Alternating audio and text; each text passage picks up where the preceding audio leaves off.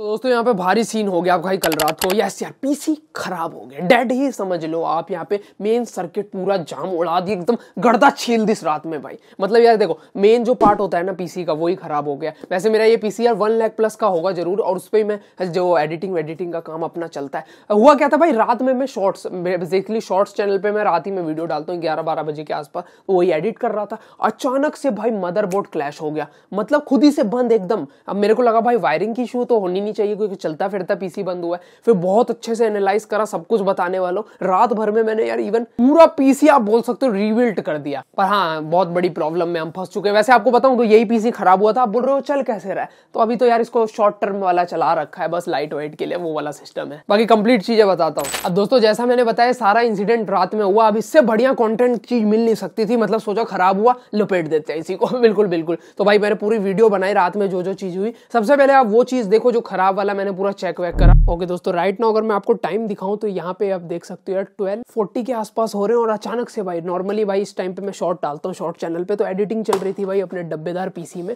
और अचानक से भाई ये चीज़ बंद हो गई है। अब मुझे नहीं पता भाई इसके पीछे रीज़न क्या है। मैंने यार ट्राई करा अलग अलग स्विच बोर्ड में ट्राई जो नॉर्मल चीज़ें रहती है, जो लोग करते हैं, वो मैंने कर चुका हूँ। पर अभी मैं आपको चीज़ दिखाऊँगा प्रॉब्लम क्या हुई है मेरे साथ।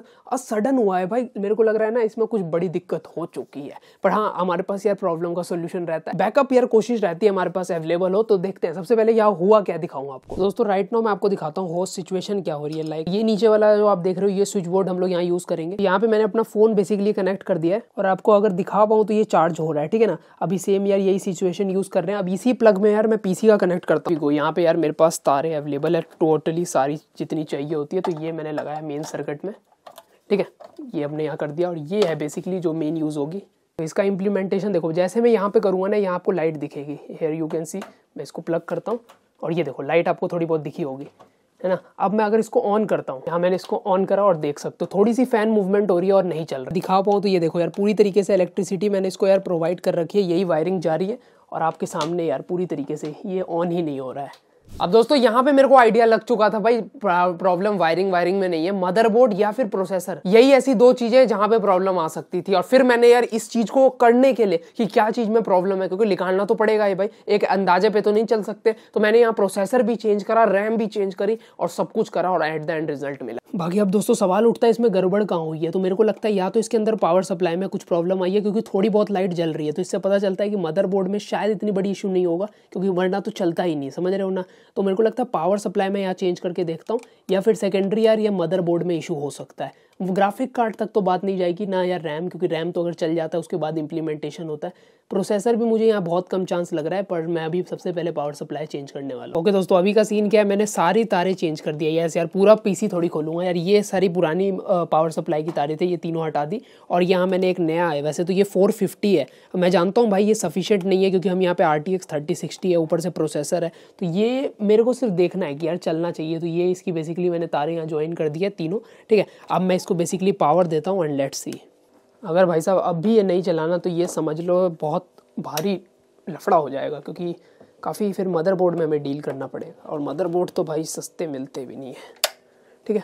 और here we go let's see the problem is in motherboard okay man okay दोस्तों, लंबी पीरियड हो गई है तो यार यहाँ मदरबोर्ड की दिक्कत हो सकती है जितना मुझे लग रहा है, क्योंकि पावर सप्लाई तो ओके ओके रिपोर्ट है, क्योंकि लाइट अभी भी जल रही है, पर कंप्लीट पावर नहीं जा पा रही है। ओके दोस्तों, अभी मैं क्या कर रहा हूँ भाई, यहाँ पे मैंने सारी चीज़ें धीरे धीरे चेक करी है लाइक रैम अभी मैंने चेंज करके देखा पावर सप्लाई तो तीन अलग अलग चेंज करके देख लिया। अब लास्ट में सिर्फ़ और सिर्फ़ भाई मदरबोर्ड एंड प्रोसेसर बचता है। और वैसे प्रोसेसर के आप इर्द गिर्द अगर देख पाओ तो हेयर यू कैन सी भाई क्या लेवल है गंदगियों का, देख रहे हो? अब इसको साफ़ करूँगा और नया वी एट फाइनल लेवल सब कुछ चेंज हो गया, सिर्फ़ और सिर्फ़ प्रोसेसर और मदरबोर्ड बचे। अब मैंने प्रोसेसर भी चेंज कर दिया, सारी चीज़ें ऑन कर दिया लेट्स सी अब ये चल गया तो प्रोसेसर की गड़बड़ है?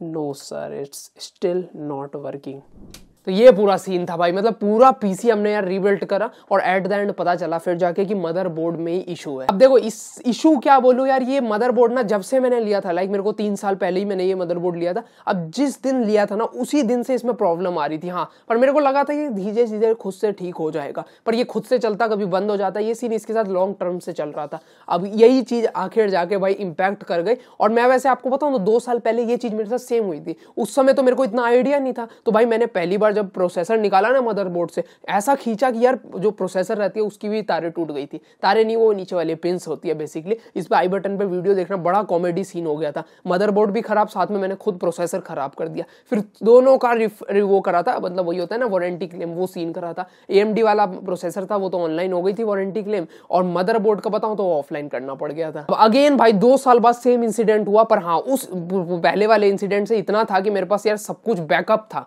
मतलब उस समय मैंने सोच लिया था, भाई ऐसा कुछ अगर फ्यूचर में हो तो क्या करेंगे? क्योंकि अभी आपको ये वीडियो देनी है, भाई एडिटिंग वेडिटिंग ये सब कैसे हो पाएगी? तो उस समय मैंने एक और पीसी और एक्स्ट्रा कंपोनेंट्स ले रखे थे। तो राइट नाउ आप ये जो पीसी चलता हुआ देख रहे हो ना, इसमें बेसिकली मैंने करा क्या, ये वाला पीसी है ना, अपना, इसका जो मदरबोर्ड था, वो इंप्लीमेंट कर दिया, बाकी सारे पार्ट पुराने वाले लगा दिए, ये करा है। अब ये पीसी थोड़े टाइम के लिए बंद है, जब तक वो मदरबोर्ड अभी गया है, भाई नेहरू प्लेस जाएगा फिर उसको होने में लगेगा, भाई सात दिन के आसपास का टाइम तो ये पूरा सीन था भाई, काफ़ी बड़े लफड़े में फंस गए हैं वैसे तो क्योंकि ये पीसी भाई अब चल नहीं पा रहा है। ये चल रहा है जो आप देख रहे हो, क्या अटक गया? देख रहे हो इसका? ये वॉलपेपर हम चलाते थे, कैसे अटका पड़ा हुआ है? ये इसलिए हो रहा है क्योंकि मैंने वही वाले, अपने पुराने दस हज़ार वाले पीसी को कनेक्ट कर दिया, उसमें इतनी पावर नहीं है। ये पूरा सीन हो रखा है। तो उम्मीद करते हैं जल्दी सॉल्व हो जाए और फिर आपको अपडेट करेंगे जब मदरबोर्ड एक बार आ जाए, आ रहा है, एक बार वारंटी क्लेम हो जाए, तब आगे बात करते हैं, पता नहीं नया मदरबोर्ड बंदी हो गया भाई ये तो।